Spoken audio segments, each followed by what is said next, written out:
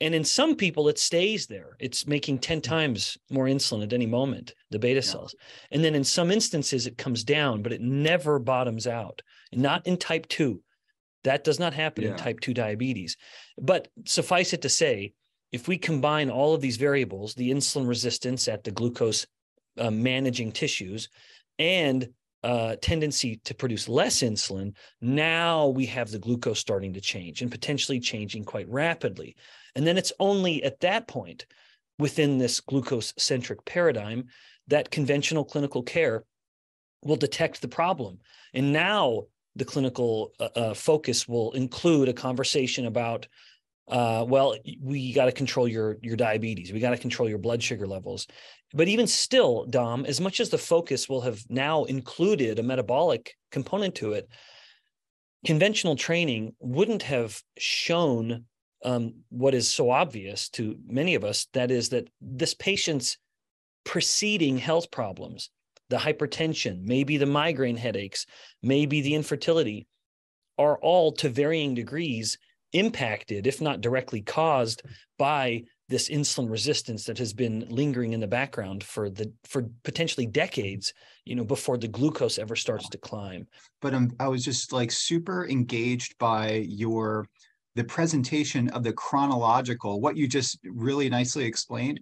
Is there human data? My colleague uh, dr barbara hansen uh, who's worked along with like uh, gerald shulman and, and others like really uh, one of the leaders in, in understanding like insulin physiology. I adopted and adapted it from a publication from a, you might have met him, um, and I bet people have heard of him. Uh, he's a pediatric endocrinologist, and, and his name was Jake, his name is Jake Kushner. I'll try to find oh, that yeah, manuscript uh-huh. so that we can include. So he had put together a figure one time in one of his review articles that he published a few years ago, and it showed that paradigm and that's mm-hmm. why I felt so confident, especially Dom, especially on the um, the, the, early part of it. I, I, don't think would be controversial at all. That that insulin's climbing before the glucose starts to climb, and then yeah. it was this idea that even if the insulin starts to come down, in type 2 diabetes, it does not go to zero. There's an age dependent decrease in in insulin, you know, associated mm-hmm. with type 2 diabetes, which could, could lead to like uh, insulin dependent type 2 diabetes. But it's yep. but it's you know that you may have not kind of captured maybe it's more like early age and middle age but you know in advanced age uh, I think in non-human primates, it, it, will insulin starts to tank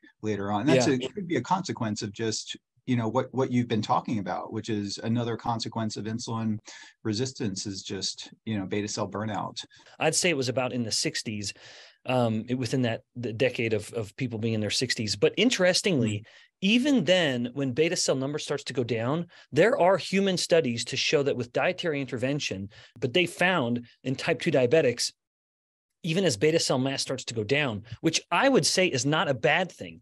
After all, beta cell mass expanded significantly during this these decades of hyperinsulinemia. I actually do not consider that to be the problem that many do if anything, it's putting them back closer to where they used to be. And I think there's an opportunity there because in conventional clinical care, you know, insulin's been coming up, they're insulin resistant, insulin may start to go down, and then the glucose levels start to go up. Um, because the the conventional model is only looking at the glucose, um, that view then justifies pushing the insulin up even higher and giving the type 2 diabetic insulin therapy. That that uh, increases the descent they will start to gain weight much more rapidly. Their metabolic rate slows significantly. It's something people don't appreciate. That insulin slows metabolic rate, and that, of course, amplifies weight gain. And they become more and more insulin resistant. With all of that insulin, which is so pathogenic, they're three times more likely to die from heart disease.